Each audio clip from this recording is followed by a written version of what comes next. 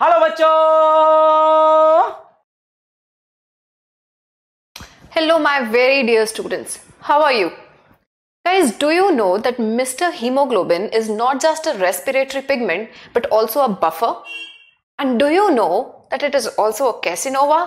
Like कभी oxygen के पीछे कभी कार्बन डाइऑक्साइड के पीछे इनफैक्ट हीमोग्लोबिन को ऑक्सीजन ज़्यादा पसंद ही नहीं है उसको ज़्यादा पसंद ही कार्बन डाइऑक्साइड है आई नो यूर अमेज्ड ये कैसे हो सकता है so in today's session guys we are going to study it all So welcome. This is your very own own PACE batch, and I am Tina Chopra, your zoology mentor. So guys, we have already started with this chapter of breathing and exchange of gases, and today it's the third lecture. In the first lecture, we studied the structure of respiratory system, and कल हमने पढ़ा था mechanism of breathing, pulmonary volumes and capacities.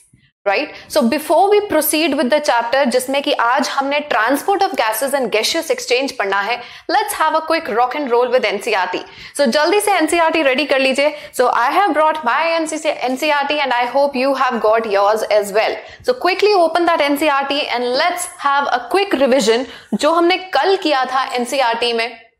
कल किया था lecture में। Let's read NCERT together चलिए so quickly read करते हैं। देखिए सो कल हमने पढ़ा था गाइस मैकेनिज्म ऑफ़ ब्रीदिंग ठीक है? इनहेल एक्सहेल सो ब्रीदिंग के अंदर दो स्टेजेस हमने पढ़ी थी इंस्पिरेशन जिसमें कि एटमोस्फेरिक एयर अंदर मूव करती है एंड एक्सपायरेशन जिसमें कि air is drawn out it is release out अब movement of air into and out of the lungs इस ये किसकी वजह से होता है? By creating a pressure gradient और हमें पता है एयर हमेशा हाई प्रेशर से लो प्रेशर मूव करती है। हाई प्रेशर से लो प्रेशर मूव करेगी। तो अगर हवा लंग्स के अंदर भेजनी है तो लंग्स के अंदर प्रेशर लो होगा। अगर हवा बाहर भेजनी है एक्सहेल करना तो अंदर प्रेशर हाई होना चाहिए। हम प्रेशर को चेंज नहीं कर सकते तो हम क्या करेंगे? हम वॉल्यूम्स को चेंज करेंगे, क्योंकि हमें पता है pressure and volume they are inverse related चलिए so between the lungs and the atmosphere ये हमें प्रेशर डिफरेंस की वजह से एयर की मूवमेंट होगी। इंस्पायरेशन कैन अकर इंस्पायरेशन देखो कब होती है? If the pressure within the lungs यानी intra pulmonary pressure intra means within is less than the atmospheric pressure ये लेस होना चाहिए than the atmospheric pressure so कैसा प्रेशर है? नेगेटिव प्रेशर है in the lungs with respect to atmospheric pressure clear then expiration guys कब होती है? जब लंग्स के अंदर प्रेशर ज़्यादा हो जाएगा। लंग्स के अंदर प्रेशर इंट्रापल्मनरी प्रेशर ज़्यादा हो जाएगा as compared to the atmospheric pressure अब हमने कल ये भी पढ़ा था कि ब्रीदिंग जो है, उसमें मेनली कौन कौन से स्ट्रक्चर्स इन्वॉल्व होते हैं। So see the structures which are involve in here they are diaphragm specialised set of muscles external and intercostal muscles जो कि रिब्स के बीच में प्रेजेंट होती हैं, ठीक है? ये दोनों हेल्प करेंगे और ऑल्सो द रिब्स लेकिन रिब्स अपने आप मूव नहीं करते रिब्स को कौन मूव करवाती हैं? इंटरकॉस्टल मसल्स ये सारे हेल्प करेंगे in the generation of these gradient gradient का मतलब डिफरेंस हाई प्रेशर से लो प्रेशर की तरफ़ हवा भेजनी है। इंस्पायरेशन को इनिशिएट करता है contraction of diaphragm contraction of diaphragm which increases the volume of thoracic chamber अंदर का वॉल्यूम बढ़ाना होगा, क्योंकि अंदर प्रेशर क्या करना है हमने? डिक्रीज जिसने कल का लेक्चर अटेंड नहीं किया है प्लीज़ डू अटेंड कल हमने बहुत इनहेल बहुत एक्सहेल किया. देखा कि कौन सी मसल्स इन्वॉल्व हो रही हैं, कौन से स्ट्रक्चर्स इन्वॉल्व हो रहे हैं during the process so please do attend that lecture clear चलिए let's move on so diaphragm मैंने कल भी बताया था कि डायाफ्राम के मूवमेंट से antero I told you antero posterior axis में volume is going to increase और contraction of external intercostal muscles जो हैं ये and ribs and sternum they cause increase in the volume of thoracic chamber in the dorso ventral axis so we have read it all UFO. Remember what was that UFO? What was that UFO? Do let me know in the comment section. And guys, I do check your comments जब आप answers देते हैं तो it really feel so satisfaction कि बच्चे पढ़ रहे हैं, बच्चे ध्यान से सुन रहे हैं। ठीक है? So I feel really motivated so keep answering in the in the comment section whatever I whatever question I ask you ना overall increase in the thoracic volume causes a similar increase in the pulmonary volume and increase in the pulmonary volume जो है, वो decrease करेगा intra pulmonary pressure को to be less than the atmospheric pressure जब lungs में pressure कम हो जाएगा, बाहर के कंपेरिजन में तो हवा बाहर से अंदर मूव करेगी।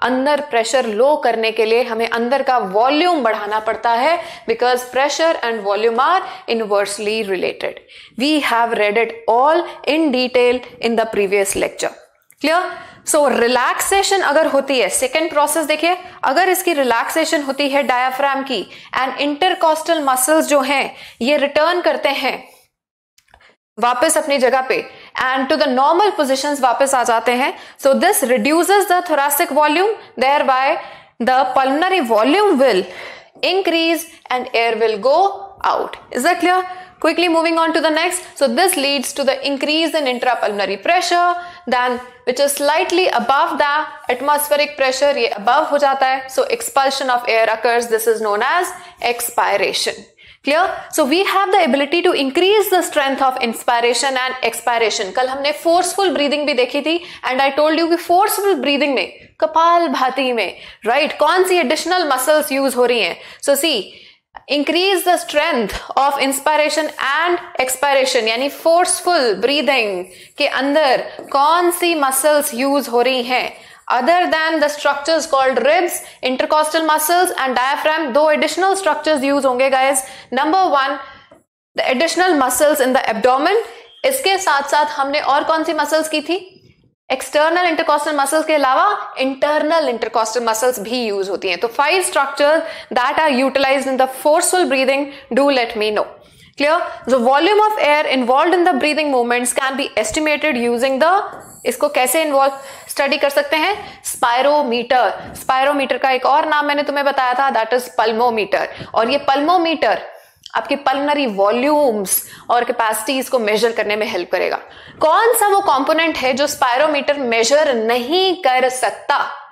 Let me know is that clear चलिए moving on to the next and today we are going to start with uh, we are going to continue with the physiology so we have already started with breathing देखिए steps of aerobic respiration हम पढ़ रहे हैं पाँच steps होते हैं guys and we have discussed breathing yesterday today we are going to talk about these four sorry these three uh, steps जिसमें कि gaseous exchange होगा ठीक है अभी तक गैशियस एक्सचेंज हो चुका है एटमोस्फेयर से लंग्स तक ठीक है, हवा एटमॉस्फेयर से लंग्स में मूव कर चुकी है। अब लंग्स से आगे वो कब जाएगी, क्यों जाएगी? ब्लड में, और ब्लड से वो गैसेस का ट्रांसपोर्ट होगा एक्सचेंज होगा बिटवीन टिश्यूज एंड ब्लड क्यों होगा, कैसे होगा? लेट्स डिस्कस इट चलिए so we'll start with the gaseous exchange so guys अभी तक हमें इतना ज़रूर पता लग चुका है कि गैशियस एक्सचेंज क्यों हो रहा है प्रेशर डिफरेंस की वजह से। Clear now see when we inhale we don't inhale oxygen हम सिर्फ़ ऑक्सीजन नहीं फ़िल्टर करके ले रहे, हम पूरी की पूरी हवा अंदर ले रहे हैं। वेन वी एक्सहेल पूरी की पूरी हवा बाहर आ रही है। फ़र्क सिर्फ़ इतना है कि इनहेल्ड एयर और एक्सहेल्ड एयर की कॉम्पोजिशन डिफरेंट होती है, उसमें परसेंटेज ऑफ़ गैसेस डिफरेंट होती है। ये हम बचपन से पढ़ रहे हैं राइट right? तो अब आगे भी जो गैशियस एक्सचेंज होना है, यानी लंग से अब गैसेस कहाँ जाएँगी? ब्लड के अंदर। और ब्लड से कहाँ जाने वाली है? टिश्यूज के अंदर। तो वहाँ पे भी ये गैशियस एक्सचेंज किसकी वजह से होगा? प्रेशर डिफरेंस की वजह से। But now since air is a mixture of gases तो हर एक गैस का एक सर्टन कॉन्ट्रीब्यूशन uh, होता है to the towards the overall pressure of the air तो इसलिए इंडिविजुअल एयर का जो सॉरी इंडिविजुअल गैस का जो प्रेशर होता है उसको हम बोल देते हैं partial pressure is it clear so total pressure of air में ऑक्सीजन जितना कंट्रीब्यूट करती है ऑक्सीजन के प्रेशर को हम बोलेंगे partial pressure of oxygen and इसी तरह से partial pressure of carbon dioxide I know air is a mixture of gases तो तुम्हारे दिमाग में आ रहा है कि नाइट्रोजन का नाम क्यों नहीं ले रहे, और कौन जो गैसेस है, उनका नाम क्यों नहीं ले रहे? लेंगे, कुछ हद तक मैं उनका भी आपको डिस्क्रिप्शन बताऊँगी, उनका रेफरेंस आएगा but today in the today's lecture we are going to discuss the transport of main two gases oxygen and carbon dioxide these are the two major gases और वैसे भी, कल हमने पढ़ा था गैस कि ब्रीदिंग को रेगुलेट करने में कार्बन डाइऑक्साइड का काफ़ी इंपॉर्टेंट रोल होता है। इजंट इट और ऑक्सीजन का खास नहीं है। दिस इज़ एनसीआरटी चलिए सो गैशियस एक्सचेंज गैस चार मेन फैक्टर्स पे डिपेंड करेगा। एक तो मेजर फैक्टर है प्रेशर डिफरेंस पे। ठीक है? कॉन्सेंट्रेशन ग्रेडियंट ग्रेडियंट का मतलब होता है डिफरेंस और कोई भी गैस हो, वो हाई प्रेशर से लो प्रेशर की तरफ़ जानी है। High pressure to low pressure और दोनों गैसेस इंडिपेंडेंटली मूव करती हैं। ऑक्सीजन अपना प्रेशर देखेगी और कार्बन डाइऑक्साइड अपना प्रेशर हाई प्रेशर से लो प्रेशर की तरफ़ मूव करने वाली है। इज़ इट क्लियर दोनों इंडिपेंडेंटली मूव करेंगी। दूसरा सॉलिबिलिटी ऑफ़ गैसेस जिस गैस की सॉलिबिलिटी वाटर के अंदर ज़्यादा होगी, उसका ट्रांसपोर्ट उतना ज़्यादा होगा, उतना क्विकली होगा। थर्ड गैशियस एक्सचेंज जो है वो थिकनेस ऑफ़ मेम्ब्रेन पे भी डिपेंड करता है। डू यू रिमेंबर हमने रेस्पिरेटरी मेम्ब्रेन की थी? कौन सी मेम्ब्रेन की बात हो रही है? रेस्पिरेटरी मेम्ब्रेन ये रेस्पिरेटरी मेम्ब्रेन की थिकनेस पतली होनी चाहिए कम होनी चाहिए। डिफ्यूजन मेम्ब्रेन हमेशा पतली होती है। और कितनी थिकनेस uh, है हमारी? It is less than one millimetre thick remember कौन कौन सी तीन मेम्ब्रेन्स हैं तीन लेयर्स हैं जो आपकी रेस्पिरेटरी मेम्ब्रेन बना रही बना रही है? Do let me know clear the three membranes which are involved in the respiratory membrane are dash dash dash clear and the fourth factor is surface area now we know कि lungs जो हैं वो आपके 150 million alveoli in each lung से भरे हुए हैं ठीक है ना तो overall 300 million alveoli present in both the lungs so alveoli का काम ही है to increase the surface area तो जितना सरफेस एरिया ज़्यादा उतना गैशियस एक्सचेंज ज़्यादा अच्छे से होगा। इसका मतलब अगर किसी भी वजह से आपके एल्वेलाई डैमेज होते हैं तो gaseous exchange is going to be disturbed so जो हमारी कई बार गंदी आदतें हो जाती हैं स्मोकिंग या फिर जिसकी हमारी आदतों की वजह से पॉल्यूशन हो रहा है आई यू गेटिंग इट तो उन वजह से हमारा हमारे लंग्स जो है, वो इंपैक्ट होते हैं। स्मोकिंग से पॉल्यूशन से इज़ इट क्लियर कुछ डिजीजेस से तो in any of the condition अगर हमारे एल्वियोलाई डैमेज हुए तो gaseous exchange is going to suffer is the clear so ये चार फैक्टर्स हैं जो गैशियस एक्सचेंज को रेगुलेट करेंगे. सो so, सबसे पहले अब हम देखते हैं गैशियस एक्सचेंज कहाँ कहाँ पे होना है. देखिए गैशियस एक्सचेंज आपका एटमोस्फेयर से लंग्स में हो चुका है. क्लियर अब आगे अब हम आज जो करने वाले हैं that is gaseous exchange between alveoli and blood और फिर ब्लड से वो गैशियस एक्सचेंज किसके साथ होगा? And tissues so let's see the structure see this is your alveoli right alveoli से पहले एयर कहाँ जाने वाली है? एयर जाने वाली है आपके ब्लड में. So this is the capillary I told you यहाँ से कहा जाएगी? ब्लड के अंदर. सो so, से यहाँ ऑक्सीजन ज़्यादा है ठीक है? यहाँ ऑक्सीजन कम है, क्योंकि ये ब्लड कौन सा आ रहा है? This is deoxygenated blood this is deoxygenated blood clear और जो ब्लड जा रहा है this is oxygenated blood done so deoxygenated blood के अंदर गाइस मान लो यहाँ तक ये डी ऑक्सीजनेटेड है डी ऑक्सीजनेटेड के अंदर ऑक्सीजन कम होती है तो ऑक्सीजन यहाँ से यहाँ मूव कर जाएगी। क्लियर? तो क्या होगा, जब ऑक्सीजन यहाँ से यहाँ मूव कर गई तो यहाँ ओवरऑल ऑक्सीजन ज़्यादा हो जानी है इन द ऑक्सीजनेटेड ब्लड यहाँ कार्बन डाइऑक्साइड कम है इन द एल्वेलाई यहाँ कार्बन डाइऑक्साइड ज़्यादा थी तो यहाँ से कार्बन डाइऑक्साइड इधर मूव कर जाएगी. इज़ इट क्लियर जब कार्बन डाइऑक्साइड निकल गई तो अब ब्लड में कार्बन डाइऑक्साइड कम हो गई. तो do you understand this deoxygenated blood के अंदर गाइस देखो ऑक्सीजन कम और कार्बन डाइऑक्साइड ज़्यादा है. ठीक है? As compared to in your alveoli तो एल्व्यूलाई के अंदर ऑक्सीजन ज़्यादा होती है।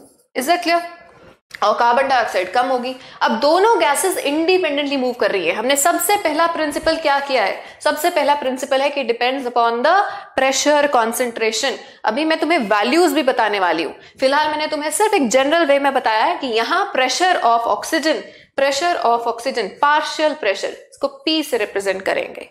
Partial pressure of oxygen is higher in alveoli, ठीक है? And it is lower in the deoxygenated blood तो ऑक्सीजन अपने हाई प्रेशर से लो प्रेशर की तरफ़ आ गई। Is that clear so oxygen अपने हाई प्रेशर से लो प्रेशर की तरफ़ आ गई। So let's see here so this is alveoli that I have drawn fine this is your blood capillary done and we are talking about gases so high pressure of oxygen so oxygen move कर जाएगी oxygen move कर जाएगी। Just a second यहाँ से यहाँ तक। ये क्या हो गया? This is oxygen moving from alveoli to the blood ठीक है? यहाँ डीऑक्सीनेटेड ब्लड में कार्बन डाइऑक्साइड का पार्शियल प्रेशर ज़्यादा है as compared to the partial pressure of carbon dioxide in alveoli so carbon dioxide अपने हाई प्रेशर से low pressure की तरफ़ मूव करेगी। जब ऑक्सीजन इधर आ गई तो ब्लड क्या हो गया? ऑक्सीजनेटेड जिसमें ऑक्सीजन का पार्शियल प्रेशर ज़्यादा और कार्बन डाइऑक्साइड का पार्शियल प्रेशर कम होगा। सो so, कोई भी जो मूवमेंट होनी है इंडिपेंडेंटली होनी है दोनों गैसेस की ऑक्सीजन अपना प्रेशर देखेगी कार्बन डाइऑक्साइड अपना प्रेशर देखने वाली है। क्लियर अब इसी तरह से अब ब्लड ब्लड और टिश्यूज की बात कर लेते हैं। ये जो ऑक्सीजनेटेड ब्लड था, ये ऑक्सीजनेटेड ब्लड आया towards the tissues towards the tissues so these are your cells these are your tissues ठीक है? सो ऑक्सीजनेटेड ब्लड आया टिश्यूज में टिश्यूज ने अपना बहुत ज़्यादा मेटाबॉलिज्म करके एनर्जी प्रोडक्शन करने के टाइम पे बहुत सारी ऑक्सीजन यूज़ कर ली है। तो ऑक्सीजन इसके अंदर होती है कम और ढेर सारी कार्बन डाइऑक्साइड प्रोड्यूस हो चुकी है। तो कार्बन डाइऑक्साइड का प्रेशर होगा ज़्यादा। क्लियर ऑक्सीजनेटेड ब्लड के अंदर तुम्हें पता है ऑक्सीजन ज़्यादा आ रही है, इसका प्रेशर ज़्यादा है और pressure of carbon dioxide is low तो ऑक्सीजन किधर से किधर मूव करेगी? ऑक्सीजन यहाँ से यहाँ मूव कर जाएगी। और यहाँ पे क्योंकि कार्बन डाइऑक्साइड ज़्यादा है तो कार्बन डाइऑक्साइड इधर से इधर मूव कर जानी है। जब कार्बन डाइऑक्साइड इसमें ऐड हो गई ऑक्सीजन निकल गई तो अब ये ब्लड क्या बन जाएगा? This will be now deoxygenated blood is clear so दो लेवल्स पे एक गैशियस एक्सचेंज हो रहा है। एक एल्वेलाई और ब्लड के बीच में और फिर ब्लड और टिश्यूज के बीच में। और कहीं पे भी गैशियस एक्सचेंज होगा that will always be according to the partial pressure difference now let's see the values ठीक है? तो अब मैं एक कंबाइंड स्ट्रक्चर बना रही हूँ। लेट्स अंडरस्टैंड इट देखिए, सबसे पहले हमारे पास है एक एल्वेलाई ठीक है? This is your alveoli alveoli के अंदर उस एल्वियोलाई के अंदर प्रेशर और पार्शियल प्रेशर ऑफ़ ऑक्सीजन की वैल्यू होती है 104 फोर एम ऑफ़ मर्करी ठीक है? And partial pressure of CO2 की वैल्यू होती है 40 M M of mercury is a clear 104 and 40 अब let's draw the blood stream अब देखो, ये ब्लड आ रहा है, ये आपका ब्लड सर्कुलेशन है. ठीक है? So this is your blood stream this is your blood stream now understand अब ये ब्लड की डायरेक्शन देखो। इस तरह से ये फ्लो आपको ध्यान देना है। सो so, यहाँ से फ्लो से क्लियर हो जाएगा। This blood is going towards the alveoli so ये किस तरह का ब्लड है? So this blood which is going towards the alveoli now this is deoxygenated blood clear and जो blood away from alveoli move कर रहा है अवे फ्रॉम लंग्स मूव करेगा now this must be oxygenated blood clear now let's see the values deoxygenated blood के अंदर जो partial pressure of oxygen रहता है that is 40 M M of mercury and partial pressure of C O two is 45 M M of mercury is it clear now understand see oxygen का pressure यहाँ ज़्यादा, यहाँ कम. तो ऑक्सीजन अपने high pressure से low pressure की तरफ़ आएगी. Is the clear so oxygen का ट्रांसफ़र कहाँ से कहाँ हो जाएगा? गैशियस एक्सचेंज कैसे हो जाएगा? From alveoli into the blood high pressure से लो प्रेशर की तरफ़ मूव कर गई है। क्लियर जब ऑक्सीजन इसके अंदर ऐड हो गई तो अब इस ब्लड के अंदर प्रेशर ऑफ़ ऑक्सीजन अब बढ़ गया है। कितना? 95 98 तक जा सकता है। Is it clear now carbon dioxide को देखो। कार्बन डाइऑक्साइड का यहाँ पे प्रेशर कितना है? 45 ठीक है? यहाँ पे प्रेशर कितना है? 45 यहाँ प्रेशर है 40 तो कार्बन डाइऑक्साइड अपने हाई प्रेशर से लो प्रेशर की तरफ़ जाएगी। यहाँ कार्बन डाइऑक्साइड ज़्यादा है, यहाँ कम है तो यहाँ कार्बन डाइऑक्साइड का मूवमेंट हो जाएगा। सिंपल सी बात हाई प्रेशर से लो प्रेशर की तरफ़ इंडिविजुअल गैसेस मूव करेंगी। अपना अपना हाई प्रेशर देखेंगे। क्लियर? सो कार्बन डाइऑक्साइड जब निकल गई तो कार्बन डाइऑक्साइड के निकलने से यहाँ जो प्रेशर 45 था, अब वो कार्बन डाइऑक्साइड का प्रेशर डिक्रीज होके कितना हो गया है? 40 M M of mercury is that clear to all ठीक है? नाउ सी ये जो ऑक्सीजनेटेड ब्लड है, ये ब्लड अब नीचे टिश्यूज की तरफ़ आ रहा है। ये कहाँ आ रहा है? टिश्यूज की तरफ़. Let's draw the tissues so these are the tissues ठीक है? And I just told you tissues ने बहुत सारी मेटाबॉलिज्म शो की है, बहुत सारी प्रोसेसेस चल रही हैं एनर्जी प्रोडक्शन के लिए। तो यहाँ पे पार्शियल प्रेशर ऑफ़ ऑक्सीजन हो चुका है कम और ये 20 तक जा सकता है। इज़ इट क्लियर और यहाँ बहुत सारी कार्बन डाइऑक्साइड प्रोड्यूस हो गई है सो सीओ टू का प्रेशर बढ़ के पहुँच गया है 45 five M M of sorry 48 M M of mercury how much is it 48 M M of mercury clear now see अब टिश्यूज की तरफ़ ये जो ऑक्सीजनेटेड ब्लड आया टुवर्ड्स द टिश्यूज राइट तो यहाँ पे प्रेशर ऑफ़ ऑक्सीजन कितना चल रहा है? 95 प्रेशर ऑफ़ कार्बन डाइऑक्साइड कितना चल रहा है? 40 क्लियर नाउ सी अगेन अब दोनों के बीच में जब एक्सचेंज होना है तो अपना अपना प्रेशर देखेंगे। सी ऑक्सीजन यहाँ ब्लड के अंदर 95 है टिश्यूज के पास 20 है तो यहाँ से ऑक्सीजन ट्रांसफ़र हो जाएगी इनटू द टिश्यूज क्लियर और यहाँ टिश्यूज के पास कार्बन डाइऑक्साइड बहुत ज़्यादा है 9 48 और यहाँ पे कितनी है? 40 सो कार्बन डाइऑक्साइड यहाँ से यहाँ ट्रांसफ़र हो जाएगी. इज़ दैट क्लियर अब जब ऑक्सीजन यहाँ से ब्लड से निकल गई तो ब्लड एक बार क्या हो गया दोबारा से? Deoxygenated so this becomes deoxygenated और ऑक्सीजन के निकलने के बाद प्रेशर ऑफ़ ऑक्सीजन घट के कितना पहुँच गया है? 40 कार्बन डाइऑक्साइड इसमें और ऐड हो गई है। तो कार्बन डाइऑक्साइड का partial pressure is going to increase from 40 to 45 so this is your deoxygenated blood and this is what moves towards the lungs is that clear ठीक है? सो जो भी एक्सचेंज होना है, बहुत सिंपल सी बात है। तुम्हें सिर्फ़ प्रेशर पता होना चाहिए। हाई प्रेशर से लो प्रेशर की तरफ़ गैस को ले जाओ। सिंपल ठीक है? एल्वेला में ऑक्सीजन का प्रेशर ज़्यादा है और डीऑक्सीनेटेड ब्लड में कार्बन डाइऑक्साइड का प्रेशर ज़्यादा है। इज़ द क्लियर इसी तरह से आप टिश्यूज में देखेंगे। Done so these are the values that you must learn in values के बेस पे ही आप उनका एक्सचेंज देख सकते हैं। इतना क्लियर हुआ है? ठीक है? चलो. So gaseous exchange is done next story ये है कि ये जो ब्लड ने, देखो यहाँ से ऑक्सीजन एंटर की ब्लड के अंदर, ठीक है? ये ऑक्सीजन नीचे तक पहुँची है, यानी टिश्यूज तक पहुँची है। तो blood is the transporting medium blood is that fluid which is going to transport the oxygen और द कार्बन डाइऑक्साइड तो ब्लड के अंदर ये गैसेस का ट्रांसपोर्ट कैसे होता है? ब्लड के अंदर ये गैसेस क्या कमाल कर रही हैं? So that is our next topic ठीक है? बट नेक्स्ट टॉपिक पे जाने से पहले आई मस्ट फोकस कि आपकी एनसीआरटी e में ये जो टेबल दे रखी है this is super duper important ठीक है? This is super duper important now understand once again एक बार क्विकली रिवाइज कर लेते हैं।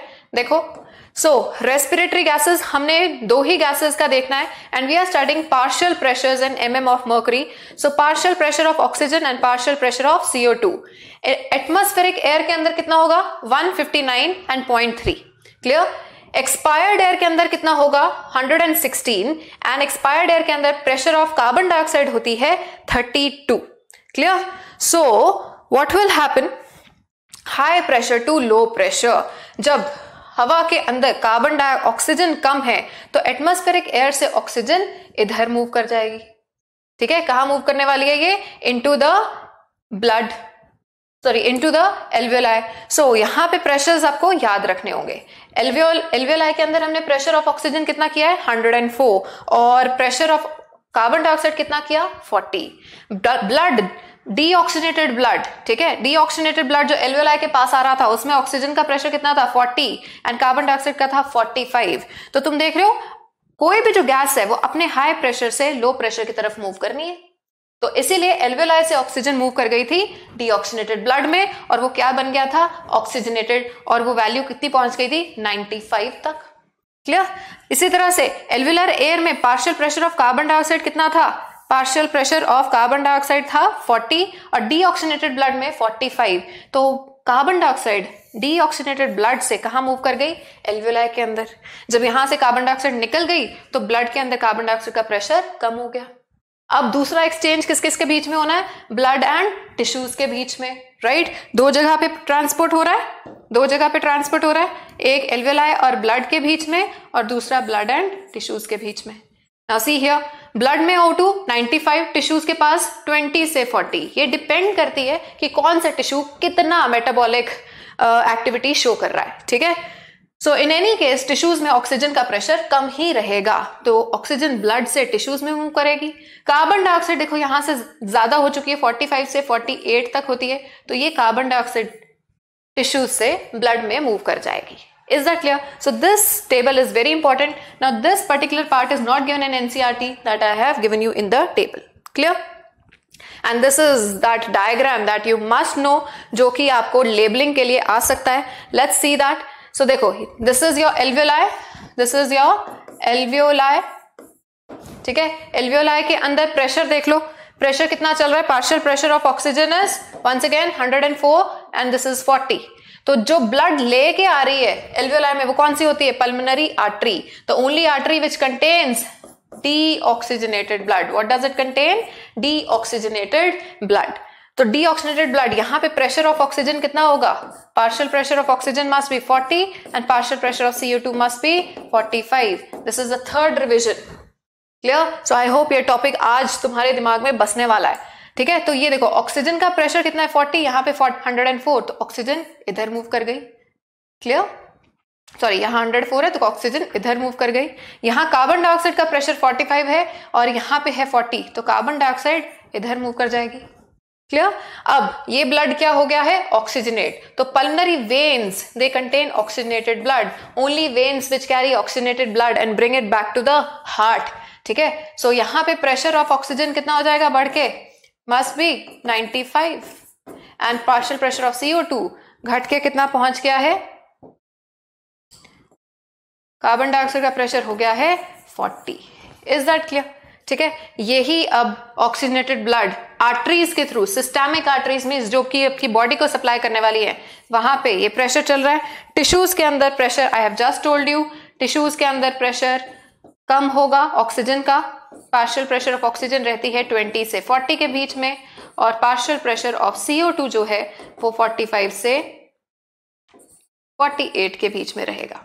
क्लियर तो ऑक्सीजन यहाँ से यहाँ चली जाएगी कार्बन डाइऑक्साइड यहाँ से यहाँ चली जाएगी। Blood will become deoxygenated once again और वेन्स के थ्रू वापस हार्ट में आने वाला है। Is that clear clear? अब ये डायग्राम में आपको ये चीज़ें भी पूछी जा सकती है कि ये जो वेसल्स हैं किस को डिनोट करती हैं? So you always have to check for the arrow heads arrow heads are very very important here so the one bringing carrying blood towards the lungs ये क्या होती है? Pulmonary artery away from lungs towards the heart pulmonary vein clear these are your systemic arteries and these are your systemic veins so that was the gaseous exchange अब हम ये देखेंगे कि blood के अंदर इनकी क्या कहानी चल रही है ब्लड इसको कैसे गैसेस को ट्रांसपोर्ट करता है। So as I already mention कि गाइस आज हमने मेजरली जो करनी है, दो गैसेस के बारे हमने पढ़ना है। One is oxygen second is carbon dioxide carbon monoxide के बारे ये मैं आपको कल बताऊँगी कि कार्बन मोनोक्साइड कैसे ट्रांसपोर्ट गैसेस के साथ इंटरफेयर करता है। Clear so today let's focus on these two gases so सबसे पहले हम डिस्कस करेंगे transport of transport of oxygen.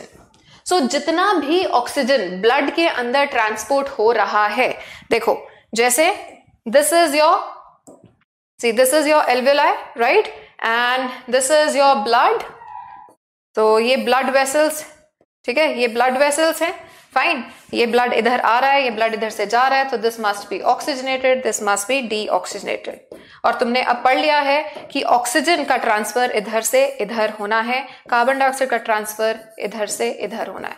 अब नाउ सी ट्रांसपोर्ट करने के लिए हमारे इस ब्लड के अंदर जो मेन सेल्स इन्वॉल्व होते हैं they are your they are your RBCs they are your RBCs clear so what is this RBC going to do I told you yesterday, RBC is nothing but a bag of hemoglobin. बहुत सारा hemoglobin भरा हुआ है।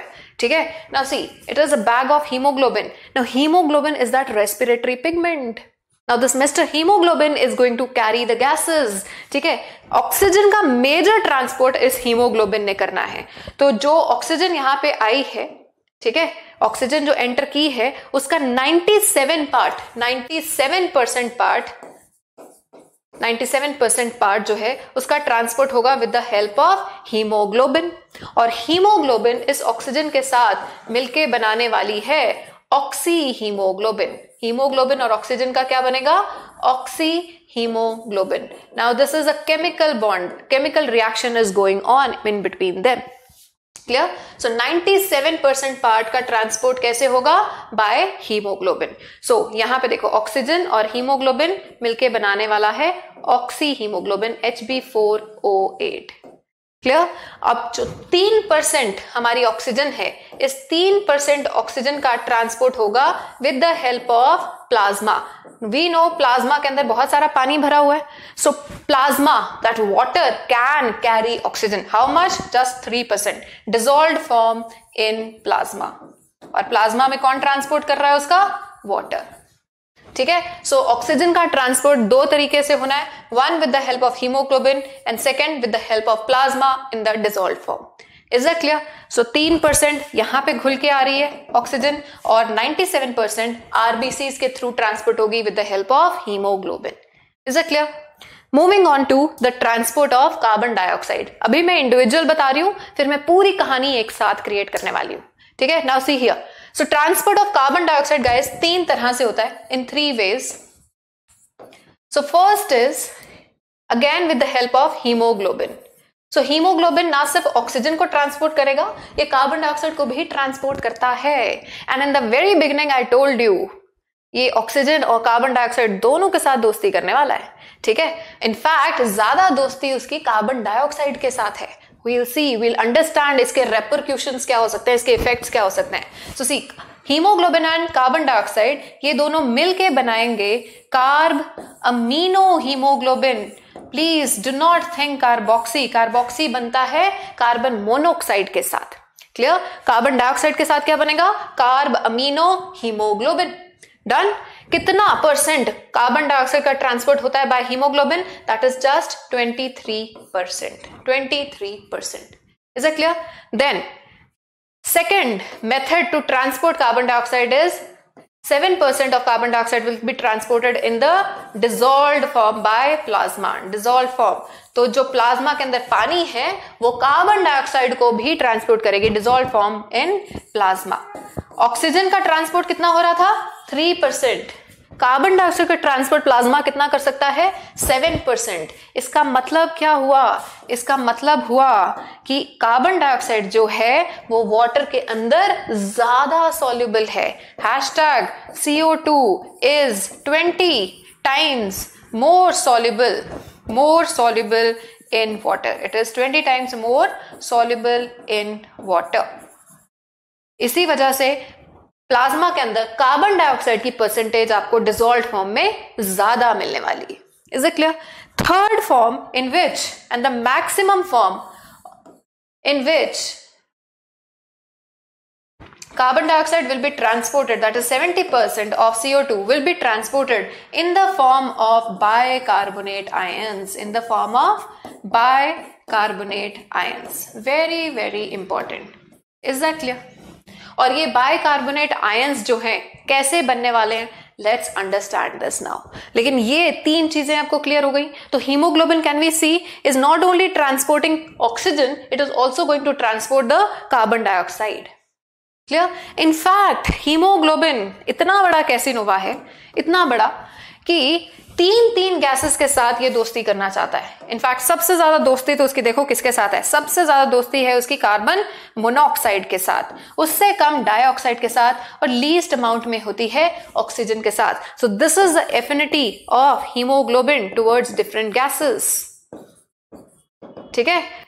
Oxygen और carbon dioxide के comparison में carbon dioxide के लिए उसकी 20 टाइम्स से ज़्यादा एफिनिटी होती है। दिस एरोहेड शोज़ कि ज़्यादा उसका प्यार किसके साथ है? कार्बन डाइऑक्साइड के साथ। और सबसे ज़्यादा होती है कार्बन मोनोऑक्साइड के साथ 200 से 300 टाइम्स ज़्यादा। यानी कि अगर ऑक्सीजन कार्बन डाइऑक्साइड और कार्बन मोनोऑक्साइड तीन लड़कियाँ होती तो हीमोग्लोबिन ऑक्सीजन की तरफ़ देखता ही नहीं किसकी तरफ़ चला जाता? कार्बन मोनोऑक्साइड की तरफ़। 200 टाइम्स ज़्यादा अट्रैक्शन है उसकी कार्बन मोनोऑक्साइड के लिए। इज़ दैट क्लियर और डाइऑक्साइड के लिए कितनी है? 20 टाइम्स ज़्यादा। तो ऑक्सीजन के साथ तो हीमोग्लोबिन मजबूरी में बाइंड करता है। ठीक है? चलो, देखते हैं इसका और क्या इफ़ेक्ट होने वाला है। So now let's combine the two things ठीक है? अब, जो स्टार्टिंग में मैंने डायग्राम ड्रॉ किया था now I am going to repeat it once again so this is guys your alveoli ठीक है? अब हम यहाँ पे आपका ब्लड स्ट्रीम दोबारा से ड्रॉ कर रहे हैं। Fine this is your bloodstream यहाँ पे अब मैं पहले दिखाऊँगी तुम्हें transport now this is your deoxygenated blood that we have already read this is your oxygenated blood ठीक है? क्योंकि डायरेक्शन इस तरह से होने वाली है, ठीक है? इसके नीचे वाला पार्ट जो है, वो हम सेकेंड पार्ट में डिस्कस करेंगे. नाउ सी वी नो यहाँ ऑक्सीजन का pressure partial pressure of oxygen 104 partial pressure of CO two 40 ठीक है?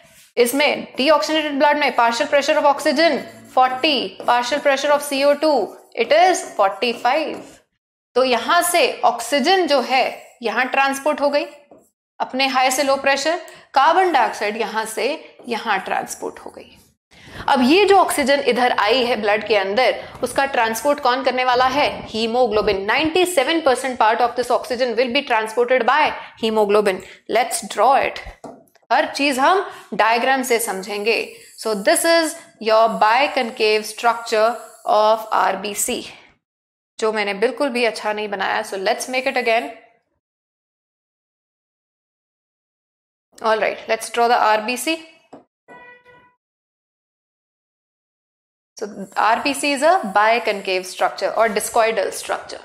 RBC के अंदर कुछ नहीं होता नो न्यूक्लियस नो माइटोकॉन्ड्रिया तभी हमने पढ़ा था कि RBC can not respire aerobically because it doesn't have mitochondria respire कैसे करता है? एनारोबिकली फ़र्स्ट लेक्चर था. ठीक है? No Golgi bodies no endoplasmic reticulum no lysosome सारा का सारा सरफेस एरिया किसके पास है? हीमोग्लोबिन के पास. ठीक है? So let's understand this so so, ये है भाई इसके अंदर बहुत सारा हीमोग्लोबिन ये ऑक्सीजन इसके साथ रिएक्ट करके बना देगी oxyhaemoglobin is it clear ठीक है? अब ये ऑक्सी हीमोग्लोबिन और ये हीमोग्लोबिन उसके साथ क्यों रिएक्ट किया है? क्यों रिएक्ट किया है? क्योंकि यहाँ पे प्रेशर ऑफ़ ऑक्सीजन बहुत ही ज़्यादा था। इतना प्रेशर देना पड़ा तब जाके हीमोग्लोबिन उसके साथ बाइंड किया है। ठीक है? नाउ दिस आरबीसी ये आरबीसी जो है now this will come towards ये ऑक्सीनेटेड ब्लड में ट्रांसपोर्ट होके नीचे आ रहा है टुवर्ड्स द टिश्यूज ठीक है चले अब आगे टिश्यूज में देखते हैं क्या हो रहा है सो वंस अगेन ठीक है तो अब देखो टिश्यूज की तरफ़ ये ब्लड आ रहा है सो so, ये वही आरबीसी अब वो आरबीसी इस ब्लड के through it is coming towards the tissues. It is coming towards the tissues. Is that clear? So, it is coming towards your tissues. These are the tissues. ठीक है जी? These are your tissues tissues के अंदर pressure of oxygen कितना चल रहा है? बहुत ही कम 20 से 40 और प्रेशर ऑफ़ कार्बन डाइऑक्साइड कितना चल रहा है? 45 से 48 ये घट के 52 तक जा सकता है. मीन्स बढ़ के. ठीक है? तो यहाँ पे प्रेशर बढ़ के 52 तक जा सकता है. डिपेंड करेगा कौन सा टिश्यू कितनी ऑक्सीजन यूज़ कर रहा है, कितनी एनर्जी प्रोड्यूस कर रहा है और कितनी कार्बन डाइऑक्साइड प्रोड्यूस करेगा। So now this is that bloodstream that we were talking about ठीक है? जो ऊपर से आ रहा है और हमारा जो आरबीसी है, वही आरबीसी जो मैंने अभी पिछले डायग्राम में ड्रॉ किया है, ठीक है? जो ऑक्सीजन और हीमोग्लोबिन के साथ मिलके ऑक्सी हीमोग्लोबिन बनाते हुए नीचे आ रहा है। क्लियर अब ये पहुँचा टिश्यूज के पास। तो देखो ये है आपका आरबीसी सारे रिएक्शंस कहाँ पे लिखेंगे हम? आरबीसी के अंदर। ठीक है? ना सी ना in this RBC what's going to happen आपका ऑक्सीजन कैरिंग आरबीसी नीचे आया। उसके अंदर क्या था? Oxy haemoglobin now see haemoglobin की दोस्ती 20 टाइम्स से ज़्यादा, उसकी 20 टाइम्स से ज़्यादा एफिनिटी किसके लिए है? कार्बन डाइऑक्साइड के लिए। अब जैसे ही हीमोग्लोबिन ने देखा ठीक है? जैसे ही हीमोग्लोबिन ने देखा कि, ओके, इसके पास तो ज़्यादा कार्बन डाइऑक्साइड है, वो क्या करेगा? वो ऑक्सीजन को छोड़ने वाला है ऑक्सीजन के साथ ब्रेकअप करेगा, ठीक है? ऑक्सीजन अलग, हीमोग्लोबिन अलग, और ये हीमोग्लोबिन जो है, अब किसके साथ बाइंड करने वाला है? It is going to bind with carbon dioxide to form carbamino haemoglobin is that clear सो यहाँ से हमें पता लगता है कि हीमोग्लोबिन की कार्बन डाइऑक्साइड के लिए कहीं ज़्यादा एफिनिटी है। थोड़ा सा प्रेशर बढ़ा। देखो, जो ऑक्सीजनेटेड ब्लड आ रहा था guys so this was oxygenated blood है ना? ऑक्सीजनेटेड ब्लड के अंदर तुम्हें पता है प्रेशर ऑफ़ ऑक्सीजन कितना चलता है? 95 प्रेशर ऑफ़ कार्बन डाइऑक्साइड कितना होता है? 40 थोड़ा सा भी ज़्यादा कार्बन डाइऑक्साइड देखा यहाँ पे और वो पलटा। उसने ऑक्सीजन को छोड़ा, ठीक है? उसके साथ ब्रेकअप किया और किसके साथ बाइंड कर गया है? कार्बन डाइऑक्साइड के साथ। क्या बन गया? कार्ब अमीनो हीमोग्लोबिन कभी कभी ब्रेकअप्स भी अच्छे होते हैं, है ना? तो अब ये देखो, ये जो ऑक्सीजन के साथ इसका डिसोसिएशन हुआ है now this oxygen is given to the tissues अगर यहाँ से हीमोग्लोबिन और ऑक्सीजन अलग नहीं होते, इनका डिसोसिएशन नहीं होता this is dissociation of oxygen and haemoglobin अगर ये डिसोसिएशन ना होता तो आपके टिश्यूज को कभी भी ऑक्सीजन नहीं मिलती। इज़ दैट क्लियर और हीमोग्लोबिन कभी भी कार्बन डाइऑक्साइड को लेके ना जाता। इज़ दैट क्लियर सो ये ऑक्सीजन किसको ट्रांसपोर्ट हो गई है? आपके टिश्यूज को, आपके सेल्स को। और यहाँ से जो कार्बन डाइऑक्साइड क्योंकि यहाँ पे ज़्यादा थी, यहाँ पे कार्बन डाइऑक्साइड कम थी तो यहाँ पे कार्बन डाइऑक्साइड अंदर मूव कर जाती है। ये कार्बन डाइऑक्साइड हीमोग्लोबिन के साथ बाइंड करके क्या बना देगी? कार्ब अमीनो हीमोग्लोबिन और ये जो कार्बन डाइऑक्साइड है, ये प्लाज्मा में भी डिजोल्व होगी। इन द डिजोल्व स्टेट कितनी परसेंट सेवन परसेंट ठीक है? ये कितना ट्रांसपोर्ट हो रहा है? ट्वेंटी थ्री परसेंट राइट अब 70 परसेंट का ट्रांसपोर्ट हमने कहा है कि होगा in the form of bicarbonate ions now let's see कि वो कैसे बनते हैं। देखो कार्बन डाइऑक्साइड वाटर के साथ रिएक्ट करती है और बनाती है कार्बोनिक एसिड नाउ अंडरस्टैंड ये थोड़ा सा ट्रिकी है, ठीक है? It will form carbonic acid और ये फर्दर डिसोसिएट होके बना देते हैं H positive and bicarbonate ions is that clear now पानी तो प्लाज्मा में भी है तो सेम रिएक्शन आपके प्लाज्मा में भी होगा। चलो, यहाँ पे ब्लड थोड़ा सा और ब्लड स्ट्रीम को और बड़ा करते हैं। ठीक है? ना see what is happening same reaction is guys occurring in the plasma also क्योंकि प्लाज्मा के अंदर तो पानी ही पानी है, ठीक है? तो ये सीओ टू और वॉटर जस्ट सेकेंड ये सीओ टू और वॉटर ये रिएक्ट करके यहाँ पे भी क्या बनाने वाले हैं? कार्बोनिक एसिड ठीक है? और ये कार्बोनिक एसिड यहाँ पे भी डिसोसिएट होके क्या बनाएगा? H positive ions and bicarbonate ion now listen very very carefully now what is going to happen here See, what will happen? कि ये जो अब डिफरेंस क्या है देखो? यहाँ पे भी सेम रिएक्शन हो रहा है वाटर और कार्बन डाइऑक्साइड का यहाँ पे भी पानी है कार्बन डाइऑक्साइड है सेम रिएक्शन ही होगा। तो फ़र्क क्या है दोनों रिएक्शंस में? फ़र्क ये है कि आरबीसी के अंदर now this is your RBC RBC के पास एक स्पेशल एंजाइम प्रेजेंट है। आरबीसी के अंदर एक एंजाइम प्रेजेंट है जिसको हम बोलते हैं carbonic anhydrase what do we call it carbonic anhydrase Now, this carbonic anhydrase is the fastest enzyme of the living world. इससे ज़्यादा तेज कोई एंजाइम काम नहीं करता।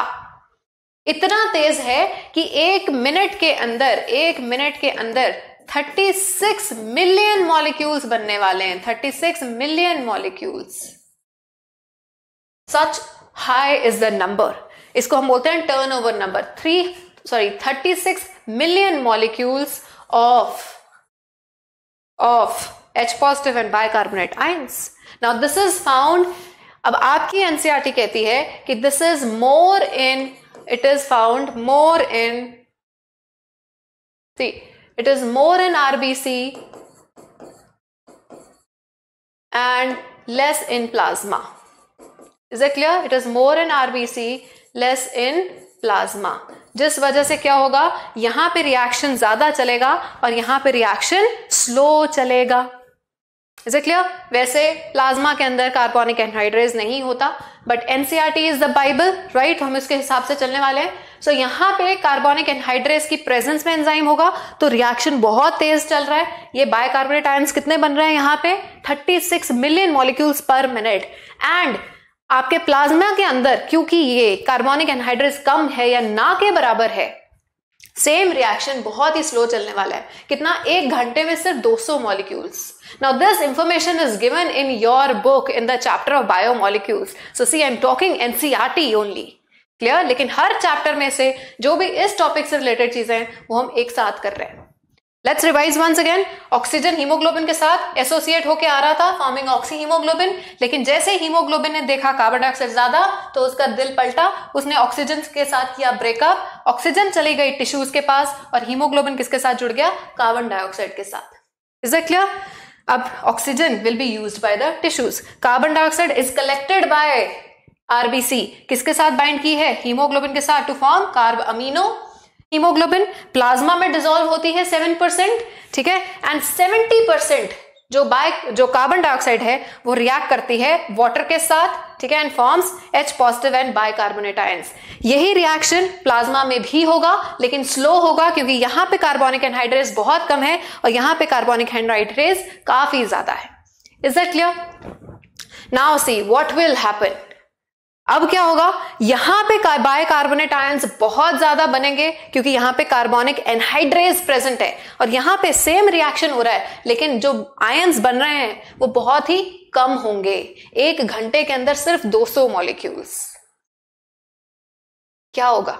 एक तरफ़ बाइकार्बोनेट आयंस बहुत ज़्यादा हैं, एक तरफ़ बाइकार्बोनेट आयंस बहुत कम है। जब भी ग्रेडियंट ग्रेडियंट मतलब एक difference concentration gradient concentration difference set होता है तो होती है डिफ्यूजन राइट ना व्हाट विल हैपन ये बायकार्बोनेट आयंस जो हैं, ये बायकार्बोनेट आयंस बाहर आने शुरू हो जाएँगे इन द प्लाज्मा ये कहाँ आने शुरू हो जाएँगे? इन द प्लाज्मा ठीक है? चलो इसको बढ़ा देते हैं थोड़ा सा। So this is your bloodstream ठीक है? तो यहाँ पे अब ये बायकार्बोनेट आयंस बाहर आ जाएँगे इन द प्लाज्मा ठीक है? बायकार्बोनेट आयंस अगर बाहर आएँगे तो आरबीसी की तो आयनिक बैलेंस डिस्टर्ब हो जाएगी राइट इसलिए आयनिक बैलेंस को मेंटेन करने के लिए प्लाज्मा से क्लोराइड आयंस अंदर चले जाते हैं। ठीक है? बायकार्बोनेट आयंस बाहर आएँगे, क्योंकि बायकार्बोनेट आयंस यहाँ पे बहुत ज़्यादा हैं। सी यहाँ पे बायकार्बोनेट आयंस बहुत ज़्यादा हैं और यहाँ पे बायकार्बोनेट आयंस बहुत ही कम है। क्यों कम है? क्योंकि सी ए प्रेजेंट नहीं है। Is it clear so what will happen ये अपनी हाई कॉन्सेंट्रेशन से लो कॉन्सेंट्रेशन की तरफ़ जा रहा है। प्लाज्मा में निकलेंगे बायकार्बोनेट आयंस सो क्या हो रहा है? बायकार्बोनेट्स आरबीसी में से निकल रहे हैं। इसको क्या कहते हैं? Efflux what do you call it efflux तो यहाँ हो रहा है efflux of bicarbonate ions तो उसकी जगह लेने के लिए क्लोराइड आयंस अंदर चले जाएँगे। क्लोराइड आयंस का क्या हो रहा है? इनफ्लक्स तो टिश्यू वाली साइड पे बायोकार्बोनेट आयंस का ई फ्लक्स होगा और क्लोराइड आयंस का इनफ्लक्स होगा। क्लियरली रिटर्न इन एनसीआरटी अब जो एनसीआरटी में नहीं लिखा है, वो आप लिख लोगे यहाँ पे कि इस एक्सचेंज को, इस एक्सचेंज को हम बोलते हैं क्लोराइड शिफ्ट क्या लिख, क्या बोलते हैं?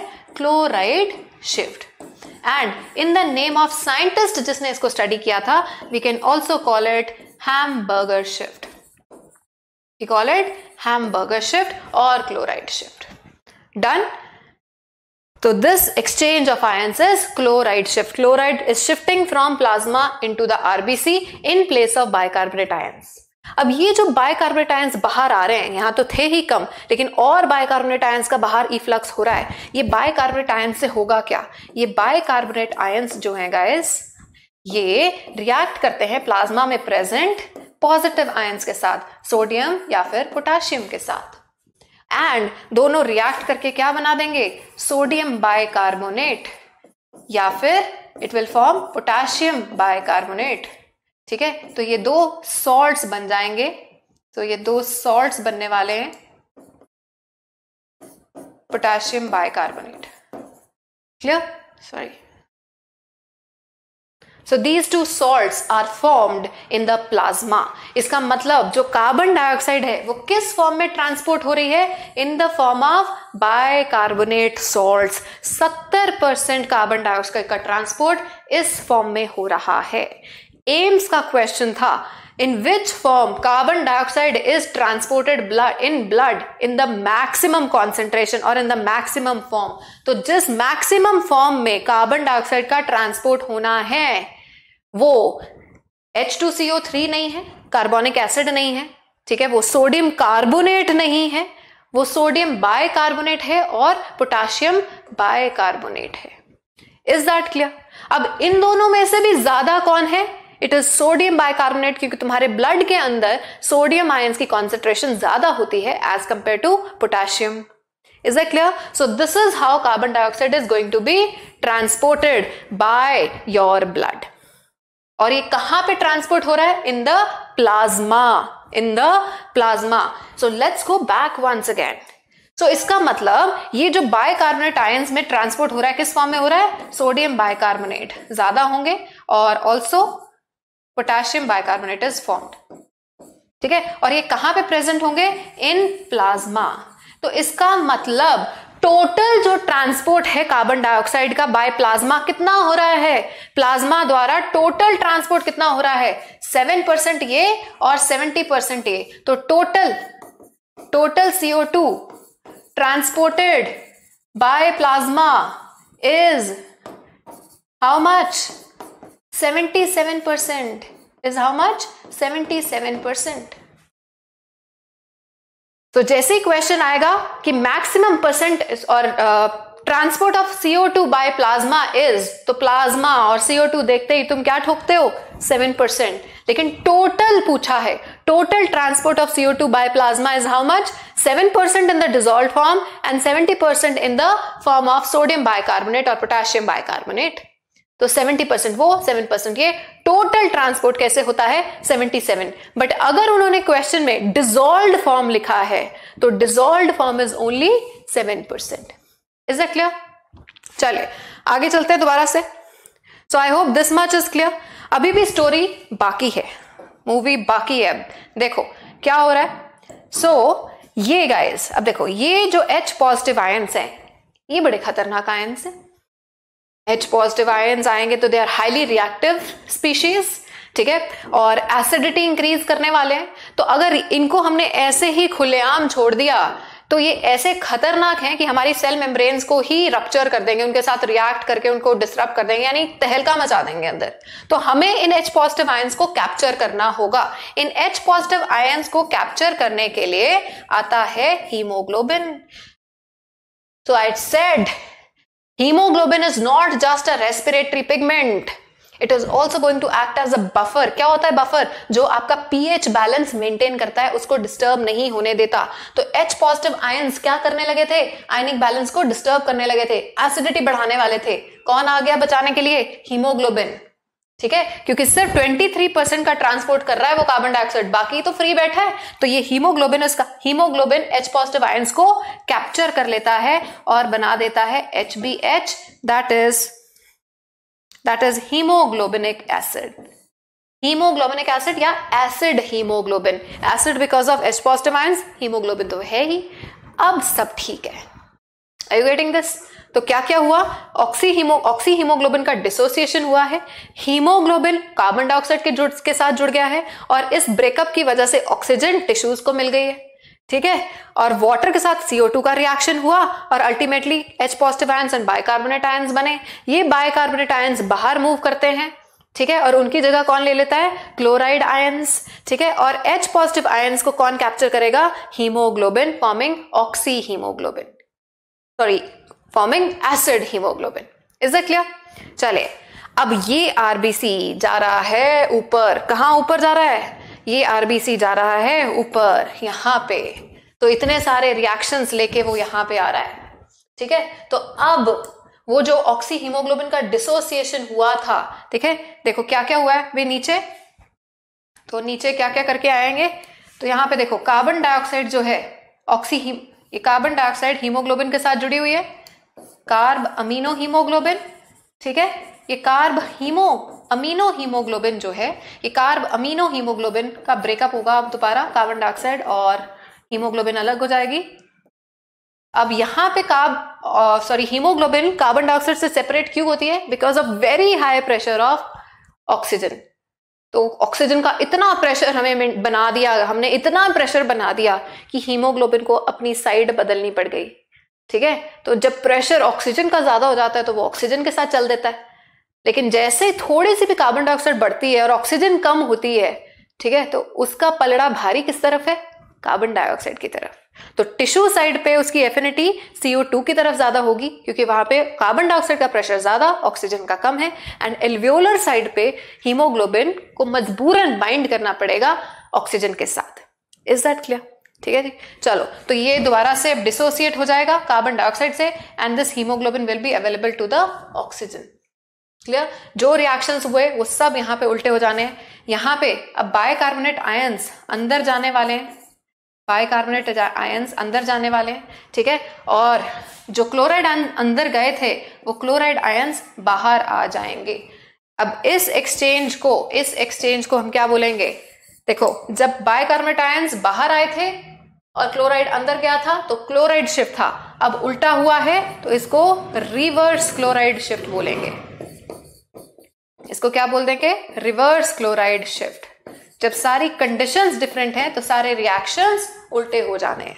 इज़ इट क्लियर और अब यहाँ पे जो आपका एसिड हीमोग्लोबिन था, वो भी डिसोसिएट हो जाता है एच पॉजिटिव आयंस को रिलीज़ कर देता है। ठीक है? और और हीमोग्लोबिन को अलग, और ये हीमोग्लोबिन दोबारा से किसके साथ रिएक्ट कर जाएगी? ऑक्सीजन के साथ।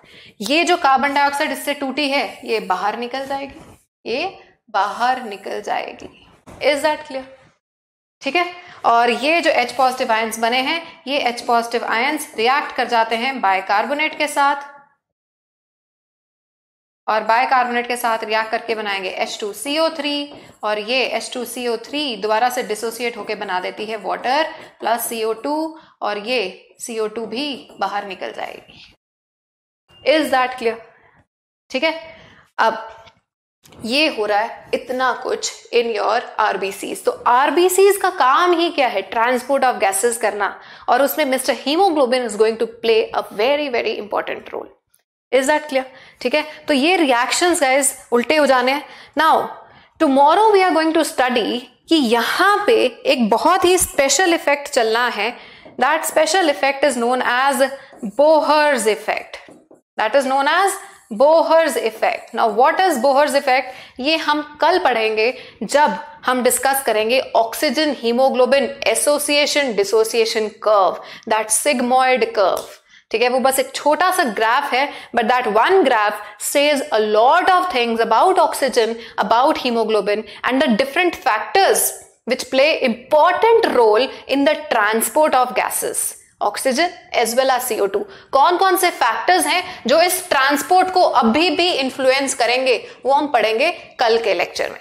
Is that clear so so, आज हमने गाइस दो चीज़ें की हैं gaseous exchange and transport gaseous exchange किसकी वजह से होना है? प्रेशर डिफरेंस की वजह से होना है मेजरली सोलिबिलिटी पे भी डिपेंड करेगा.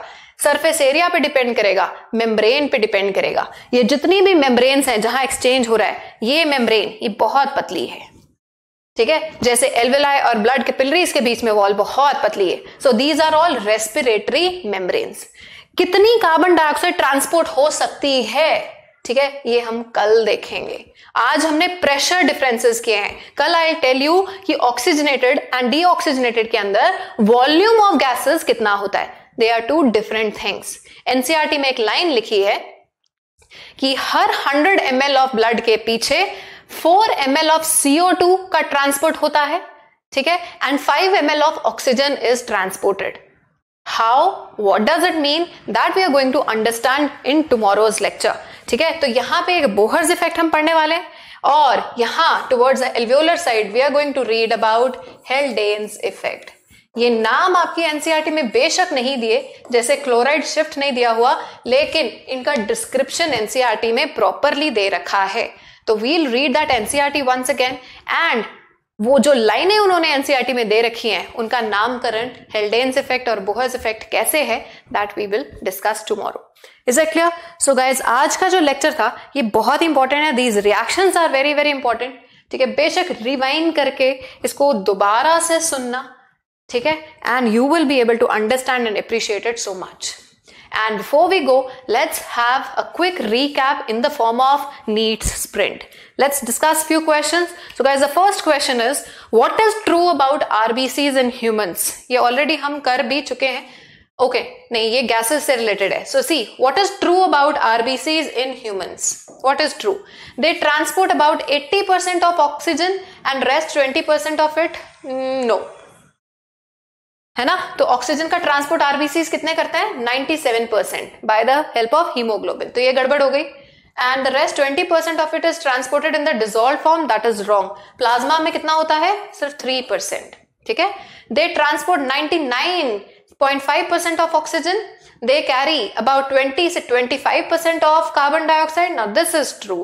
They do not carry co2 at all. This is also wrong. Oxygen का कितना हमने पढ़ा है? 97 परसेंट। तो correct answer is C next is in humans guys ये कल के लेक्चर पे बेस्ड है सो लेट्स सी किस किस को ये याद है। बिल्कुल नहीं बताने वाली हूँ मैं answer I want you to answer this question in the comment section ठीक है? रीड कर देती हूँ, थोड़ा सा ब्लर हो रहा है guys so please cooperate in human beings oblique fissures are associated oblique fissures किसमें प्रेजेंट होते हैं? ऑब्लीक फिजर्स कौन कौन से लंग्स के अंदर प्रेजेंट है? ऑब्लीक फिजर ठीक है? ऑब्लीक फिशर कौन कौन से लंग्स के अंदर प्रेजेंट है? So we have discussed it already in the previous two previous lecture first lecture में हमने स्ट्रक्चर डिस्कस किया था. Let me know the answer Is it clear? Is it right lung, left lung, both the lungs, or none of the above? And next question is approximately 70% of CO2 absorbed by the blood will be transported to the lungs 70% CO2 का transport किस form में होगा as carb amino binding to the RBC in the form of dissolved gas or as bicarbonate ions so we know the answer it is in the form of bicarbonate ions is that clear so that is all guys that is all for Okay, so we have one more question. Let's discuss this too. So partial pressure of oxygen is equal to, okay, this is a good question ठीक है? थोड़ा सा tricky है। देखो partial pressure of oxygen की बात हो रही है। ये किसके इक्वल है? एटमोस्फेरिक एंड ये ऑक्सीजन का प्रेशर किस किस के अंदर इक्वल है? देखो एटमोस्फेरिक एयर एंड एल्वियोलाई में तो हमने पढ़ा कि एटमोस्फेरिक एयर के अंदर प्रेशर की वैल्यू होती है 159 और यहाँ एल्वियोलाई के अंदर होती है 104 so this is not equal alveoli के अंदर 104 है ऑक्सीजनेटेड के अंदर 95 होता है। तो again this is not wrong I mean not right alveoli के अंदर 104 है. डीऑक्सीजनेटेड ब्लड के अंदर कितनी होती है ऑक्सीजन की presence 40 this is the presence of partial pressure of oxygen in deoxygenated blood 40 so again this is a wrong option last option of course यही बची है बट यहाँ पे 40 होता है और टिश्यूज के अंदर भी हमने कितना पढ़ा है? 20 से 40 so so 40 this is the correct answer is a clear so guys that table NCERT में जिसमें पार्शियल प्रेशर्स दिए हुए हैं that is a very very important table is a clear so that is all for today i'll see you in the tomorrow's class in which we are going to discuss oxygen hemoglobin dissociation curve कौन कौन से factors हैं P50 value क्या होती है और किस तरह से ये सारी चीज़ें रेगुलेट होंगी along with the disorders Bohr's effect and Haldane's effect we are going to discuss it tomorrow Thank you so much and all the best. पढ़ाई करते रहें ऑल द वेरी बेस्ट